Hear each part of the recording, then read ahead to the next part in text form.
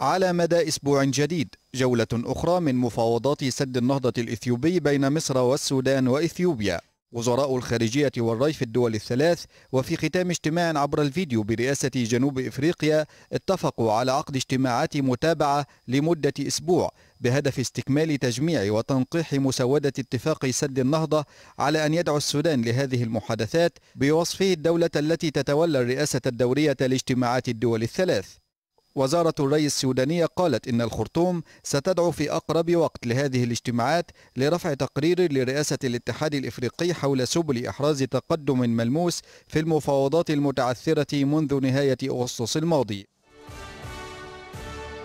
وفي القاهرة أكد الرئيس المصري عبد الفتاح السيسي ورئيس مجلس السيادة السوداني الفريق عبد الفتاح البرهان على التمسك بالتوصل لاتفاق قانوني ملزم بشأن قواعد ملء وتشغيل سد النهضة كما شدد على الأهمية القصوى لقضية المياه بالنسبة للبلدين باعتبارها مسألة أمن قومي.